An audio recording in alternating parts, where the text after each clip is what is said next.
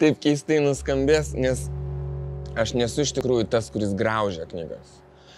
Mane knyga turi užkabinti ir sudominti, e, arba kažkas turėtų parekomenduoti.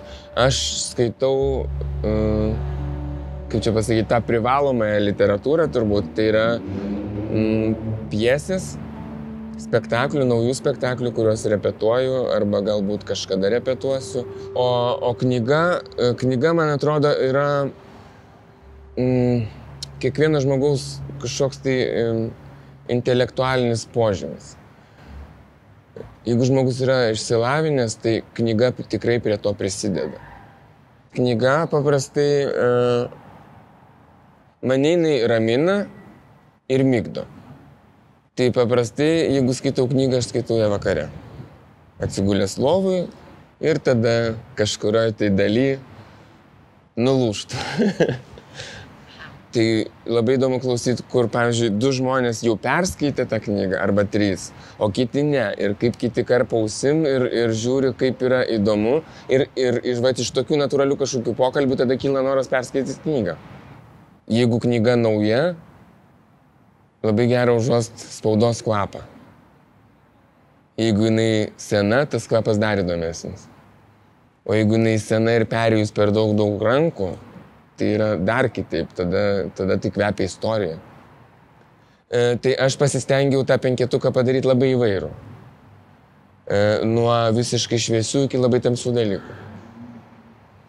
Tai Antuanas Sent-Exupéry mažasis princas yra visą laiką šalia mano lovos. Aš ją perskaičiau, kai man buvo berots kokie 25.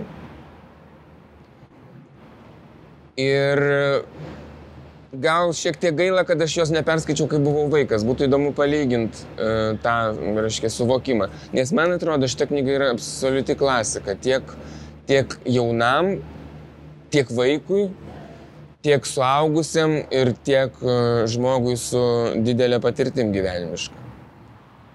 Alessandro Bariko Šilkas. Matot, kas yra? Man knyga yra kažkaip, jeigu mane pagauna, sudirgina uh, ir gerąją, ir blogąją prasme, kaip ir teatras, pavyzdžiui, ir ne? Teatrasgi gali žmonės būna kartais atsistoja ir išeina, nes negali pakęsti kažkokiu tai dalyku. Ir tai irgi yra gerai, nes tai yra paveiku, tokia yra teatro misija. Man atrodo, knygos e, turi daryti tą patį. E, jeigu tau knyga, e, na, nepatinka, tai būna tiesiog bloga knyga, blogai parašyta, tai numeti į šoną ir viskas. Būna, kad nepatinka, bet, bet tu nori prie jos grįžti. Bariko šilkas man, man padarė tokį, nu kažkokiu, kažkokiu davė labai šviesių potyrių. Ir aš galbūt dabar, aš ją seniai, seniai skaičiau ir skaičiau du kartus, ką aš retai darau su knygom. Ir dabar aš net nepapasakočiau siužeto, bet aš žinau, kad mane kažkas labai taip gražiai viduje sujaudino. Ir kalbant apie knygas, kurios e, kažkiek galbūt erzina, e, dirgina ar, ar yra kažkokios juodos, tai vad yra Fiodoras Dostojevskis nusikaltimas ir bausmė. Stora knyga. e, tai aš tikrai nuoširdžiai pasakysiu, aš kai pamatau to, va tokio storio knygą, aš labai ilgai dvėjoju skaityti ją ar ne, nes toks jausmas, kad jinai niekada nepasibaigs. Bet aš ją buvau e, priverstas tam tikrą prasme perskaityti, kadangi e, kažkada seniai, seniai, kai man buvo 23 metai turbūt, Kauno dabar jau nacionaliniam dramos teatre Ginteras Varnas statė būtent nusikaltimą ir bausmę. Tik aišku buvo mm, parašyta pjesė, inscenizacija, bet prieš tai aišku turėjau įveikti visą šitą vargą ir, ir ten kalbama apie tamsius dalykus, bet su šviesia ateitim. Tai aš nepasakosiu sužeto, kad kiltų kiltų žmonėm noras ją perskaityti. Gi nebūtina ją perskaityti per tris dienas, per tris dienas gal ir neįmanoma. Mm, ir aš ją skaičiau tikrai ilgai. Tikrai ilgai skaičiau. Bet čia viena iš tų knygų, kur taip norisi numest ir paskui po kiek laiko vis tiek tu ją nori pasiimti. Tai bet kažkaip, kažkaip taip.